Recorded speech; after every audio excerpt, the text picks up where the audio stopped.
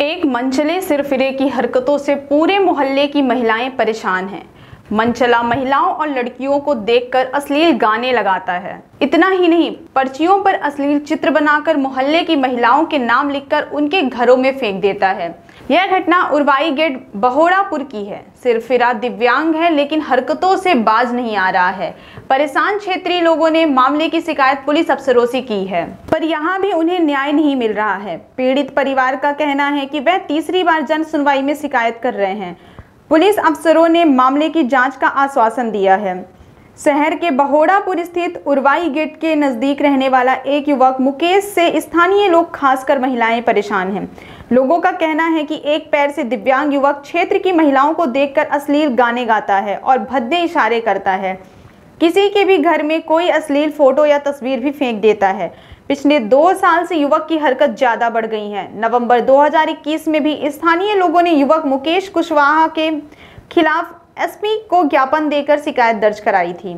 तो पुलिस ने उसके खिलाफ मुकदमा दर्ज किया था। उसे कुछ दिन जेल में भी गुजारने पड़े थे। लेकिन कुछ दिन बाद वह जेल से छूटकर आ गया और फिर वही पुरानी हरकतों पर उतर आया। सिर्फ़ फिर मुकेश के कारण घर की महिलाएँ बाहर नहीं निकल पाती हैं। वह पर्चियों पर अश्लील चित्र बनाकर उन पर घर की महिलाओं के नाम लिखता है। इन पर्चियों को वह घरों में फेंकता है, जिससे महिलाओं को बेजती सी लगती है।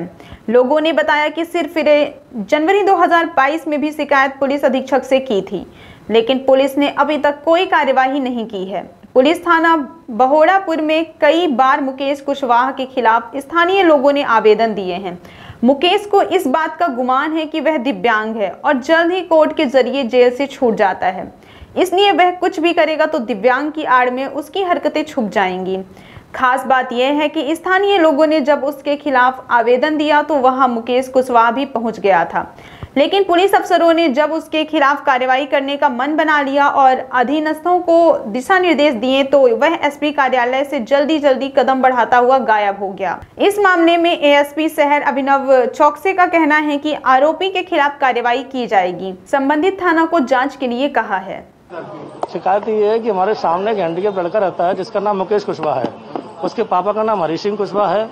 और हैंडीकेप्ट होने पर उसकी सोच ये है कि मेरा कोई पुलिस प्रशासन या हाईकोर्ट या कोई भी कानून मेरा कुछ नहीं बिगाड़ सकता।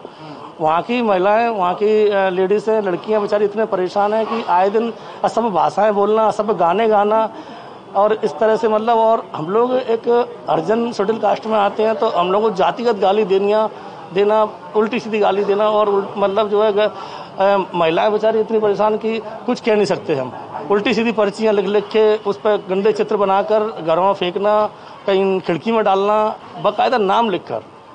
ये पूरी शिकायत गिरवई बौड़ापुर थाने की आई थी। इसमें एक व्यक्ति है जो कि पूरे क्षेत्र में महिलाओं को बड़ा परेशान कर रहा है। उसमें पहले भी पुलिस कायमी कर चुकी है, बट क्योंकि अभी वह जेल से जमानत पर आया है तो ये शिकायतें फिर से आई हैं। इसे आज संज्ञान में लिया जाएगा। पुलिस अधीक्षक साहब से भी मैंने इस पर चर्चा करी है। साहब का भी कहना है कि इसमें हम कड़ी से कड़ी कार्रवाई करेंगे